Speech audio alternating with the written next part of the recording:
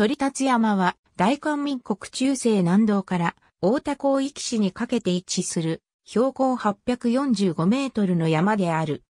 鳥立山はいくつかの岩峰の総称であり、最高峰は天皇峰である。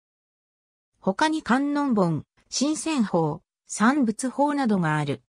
滝や渓流、多くの祈願など、風光明媚な自然環境であり、ハイキングコースが整備されて観光地となっている。百済の首都であった甲州市にほど近い、この山は古くから名山として認知されており、周辺には多くの仏寺が建てられた。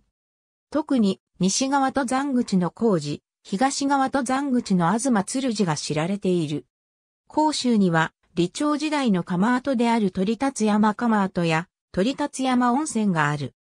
南麓は鳥粒子で韓国軍の陸海、空山軍統合司令部である鳥流大が所在する。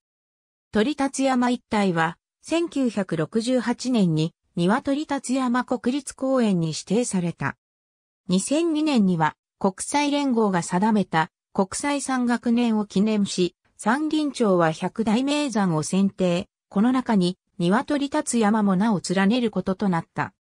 朝鮮王朝時代に流布した予言書、帝貫禄によれば、李氏の王朝が滅びた後、帝氏が鳥立山に塔を置いて、王朝を開くとしている。鳥立山という名の山は、慶章南道巨西市にも存在するが、一般に中世南道の鳥立山一帯が予言の地と考えられており、民間信仰やいくつかの新宗教団体にとって特別な場所となっている。ありがとうございます。